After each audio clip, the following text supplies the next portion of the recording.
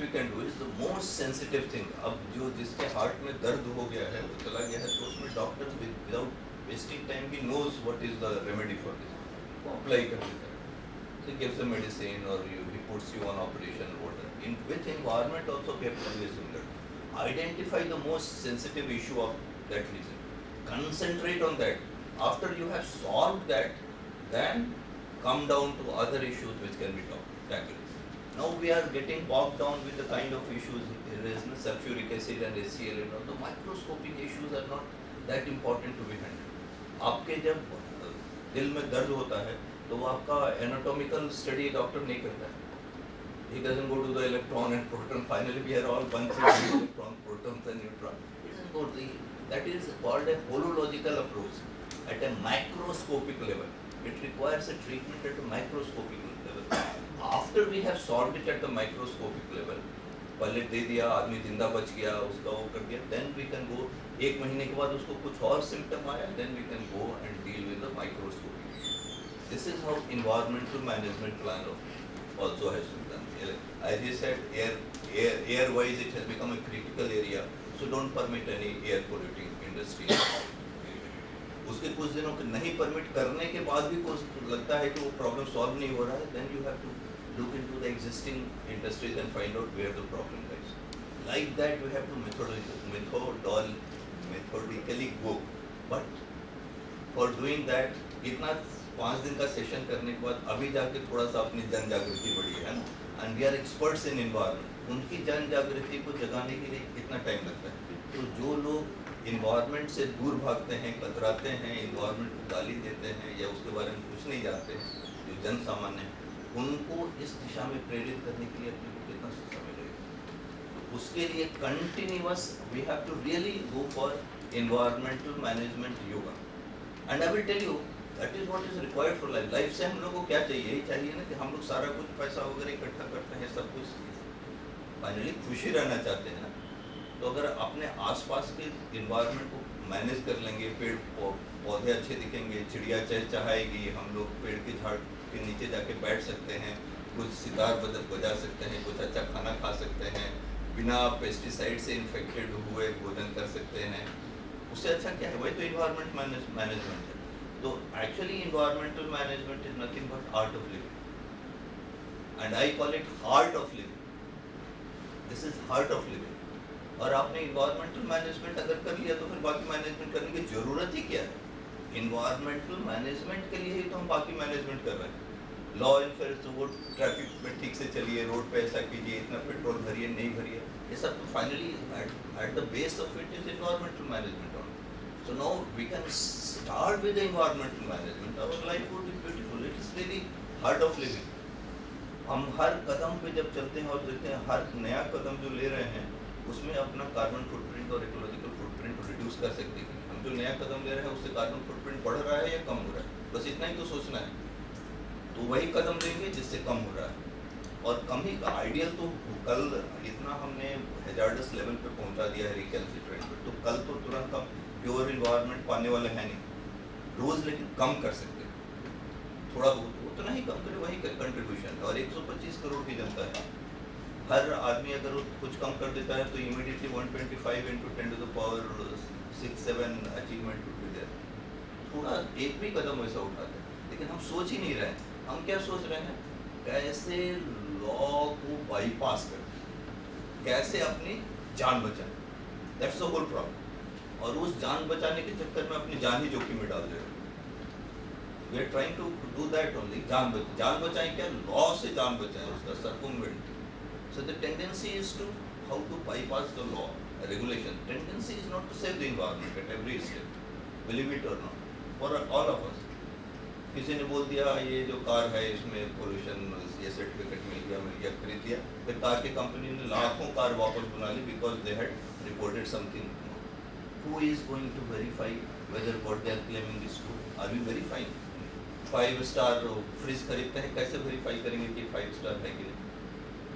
नहीं educated people we are just living on make beliefs और simple logic है उस पर जब इतना very direct relationship is there you know money and pollution the more money you have on x-axis, inevitably you will have more pollution on the y-axis. Now you find out ways and means to, to evade this graph. That is what we will be doing if we are clever citizens. Being too clever sometimes gets us nowhere. I mean, we realize sometimes बहुत चालाक बनने की कोशिश करते हैं फिर ऐसी जगह बेवकूफ़ी कर देते हैं कि फिर बाद में रिग्रेट ही कर, करना पड़ता है। और पृथ्वी गोल है। अगर बहुत ज़्यादा फास्ट हम चलेंगे तो वापस वहीं पहुँच जाएँगे जहाँ से हम चले। क्योंकि गोल है आप कहाँ जाएँगे? उसको कूद के तो बाहर नहीं जाएँगे। Is valid in all the areas we were following so we have to avoid that हरी छोटा चीज़ भी हम करें, लेकिन उसको मेटिकुलसली करें. I remember one of my father used to give this example in childhood how to enjoy life people, they were doing same job, stone crushing. तोड़ के मंदिर बना रहे ठीक है, तीन आदमी बैठे थे, एक राहगीर उधर से दूसरा पहले आदमी से पूछा, क्या कर रहे हो? तुम्हें दिखलाई नहीं देता क्या? अंधे हो क्या? जो कर रहा हूँ, सामने तो कर रहा हूँ. This is first fellow reply that means is too much irritated with the job which is doing second one क्या करूँ यार? पापी पेट का सवाल है।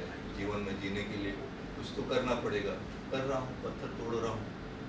he goes to the third fellow अरे साहब इसमें कुछ नहीं किया हुआ था। मैं भगवान का मंदिर बना रहा all three of them are doing the same job at the same place at the same time their attitude towards the job is different.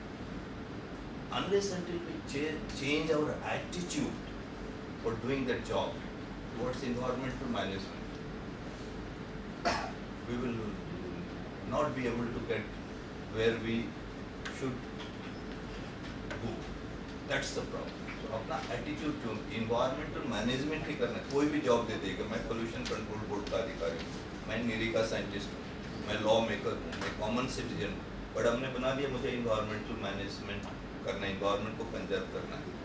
जो भी मैं हूँ, वहीं पर मैं उसके लिए सही रास्ता चुन मैं नागपुर में कहीं भी हूँ, एक रास्ता चुन के स्टेशन तो पहुँच ही सकता हूँ। स्टेशन तो वही है दैट इज़ इन्वायरमेंटल मैनेजमेंट तो ये अगर हम, ये जन जागृति अगर हमने नहीं जगाई तो हम जो करते रहेंगे लैब में, अपने कंट्रोल पोल्यूशन कंट्रोल बोर्ड में या नीरी में, वो कभी भी इसका इसका ही नतीजा है ना कि कोई भी ऐसा शहर नहीं है जहाँ हम बोल सकते हैं कि दस साल पहले इसका इन्वायरमेंट इतना बुरा था। दस साल में हम लोगों ने इतने टेक्नोलॉजिकल प्रोग्रेस कर लिया है।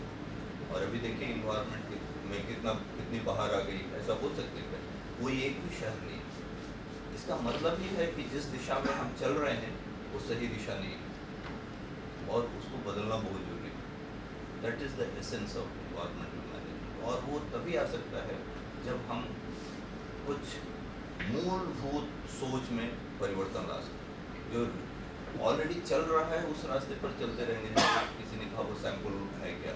और जब तक हम वो फॉलो करते रहेंगे, तब हम वहाँ कभी नहीं पहुँच हमें कुछ नया, वो नई जागृति तभी आएगी जब जो जागृति हमें आज आ रही है या उस ट्रेनिंग प्रोग्राम के माध्यम से आ रही है, वही जागृति हम जहाँ जहाँ भी जाएँ, उस तरह की जागृति हम मैं तो जहाँ भी जाता हूँ, जितना हो सके जहाँ भी काफ़ी लेक्चर्स दिए हैं मैंने।